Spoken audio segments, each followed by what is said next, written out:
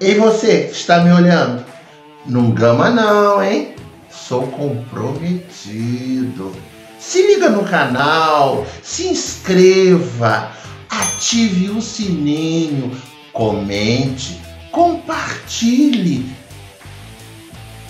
Me dê uma moral e para de loucura e roda a vinheta.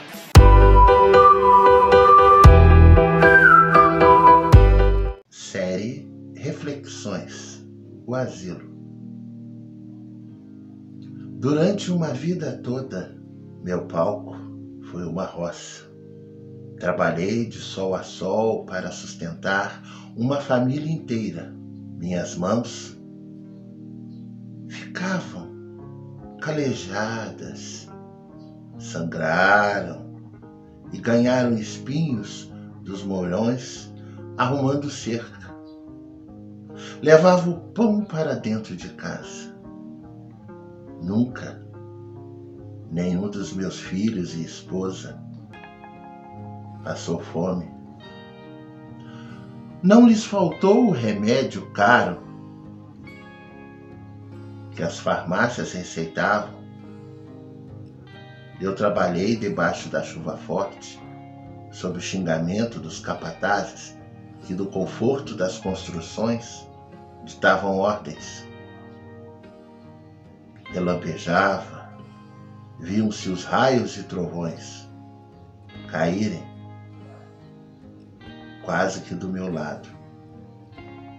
O trabalho só cessava quando não havia mais luz, quando a escuridão tomava conta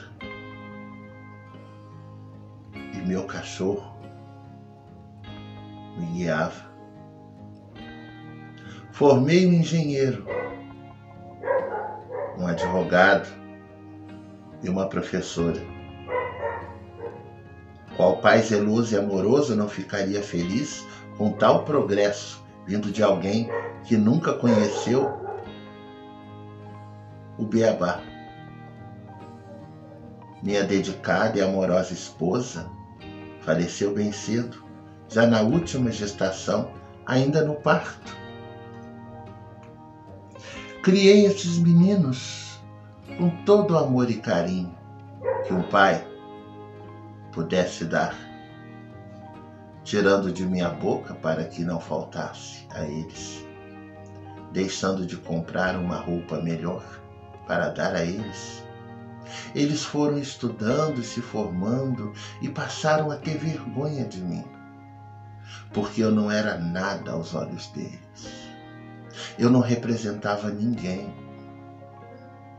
Eu era, aos olhos deles, um zero à esquerda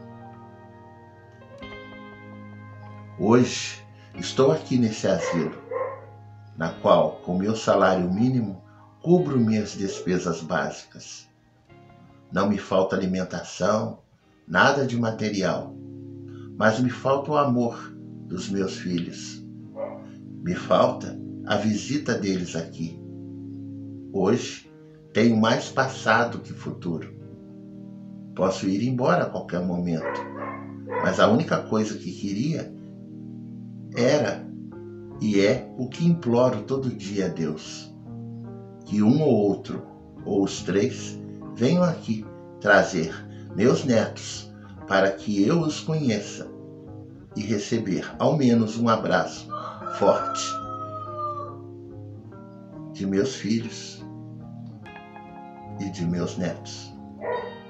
Fico por aqui, um beijo enorme no coração de cada um de vocês.